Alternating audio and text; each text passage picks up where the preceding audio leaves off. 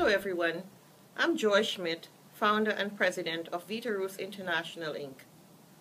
For those of you that don't know me, I was initiated to the green roof industry 20 years ago working alongside Wolfgang Behrens, the father of green roofs.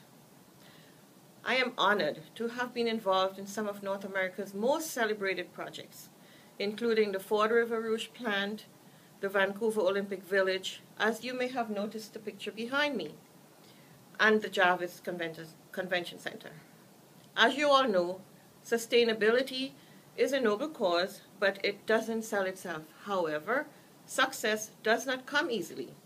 In the following video, I share with you, fellow green leaders, some of the challenges I faced and the strategies I used to overcome them to build a sustainable green roof business over the past 11 years. Let's continue to retrieve our green footprint one roof at a time in a manner that makes good business sense and gives our corporations and communities a very real and lasting sense of pride. Hi, everyone. Welcome to Aim High. Get your hands dirty and persevere with purpose. From Green Roof pioneer Joy Schmidt. Narrated by William Hunt. As participants in this summit, you're among today's green leaders. And, no doubt, you've learned the hard way that as good as it sounds, sustainability doesn't sell itself. So, what's it going to take to win the race to sustainability? Green leaders need to share their stories of success, stories that model how to triumph over obstacles. This presentation shares what worked in green roofs on a journey that spans disinterest to celebration in the North American marketplace. As you will see, from these stories emerges a paradigm in sustainability entrepreneurship. We all want to do the right thing, but research shows time and again, no matter how much people back the green cause, add a few extra dollars to a product, and you'll meet resistance. Let's face it, it's easier to do the right thing when the right thing also makes good business sense. I've also learned from personal experience that people seem to come to their own conclusions about what makes good business sense in four stages. Stage one, understand the issue. Stage two, care about impact. Stage three, believe in solution. Stage four, accept the cost benefit ratio. If you can figure out where your audience is on this acceptance triangle at any given time, you'll know where to focus your efforts to take it to the next level. Every green leader needs to know that even when the market is disinterested or skeptical, not everyone feels that way. For every good idea, there's an early adopter. In my case, that early adopter was Ford, with a tremendous vision for the world's largest green roof at a time when the concept was in its infancy in North America. But it did exist in Germany, and that's where I was working alongside Wolfgang Behrens, the father of green roofs. Ford knew of Wolfgang Behrens' reputation and invited us to bring our knowledge to America. My personal challenge was to balance two extremes with the skill of a tightrope walker. One, be the fire in the belly entrepreneur inventing solutions to new conditions as they arose and getting my hands dirty along the way. Quite literally, as you can imagine, in the context of planting a green roof. Two, and on the other end of the spectrum, be the polished suit able to navigate change in a big business environment. Considering that we were bringing our knowledge over from Germany, this process involved negotiating in two languages and managing a few cultural gaps along the way.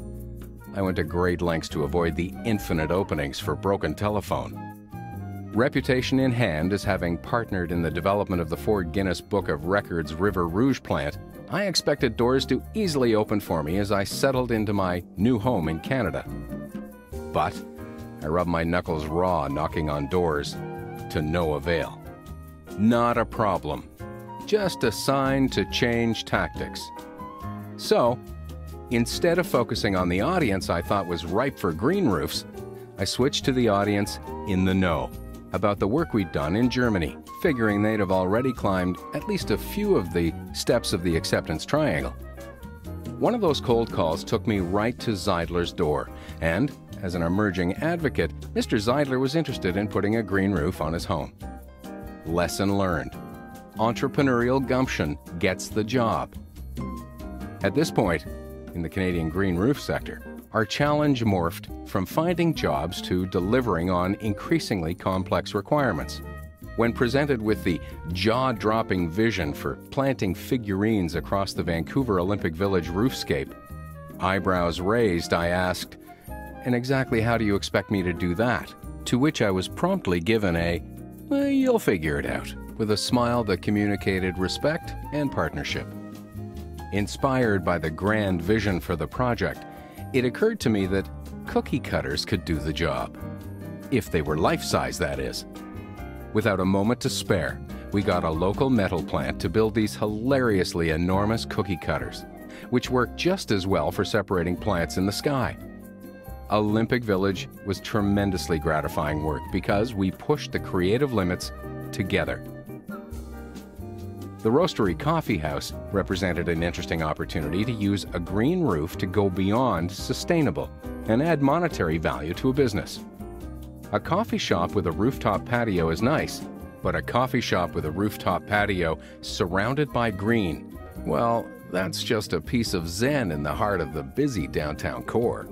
It's still one of my favorite lunch spots, and every once in a while I end up giving a talk to a tour bus chock full of kids coming to check out the garden in the sky.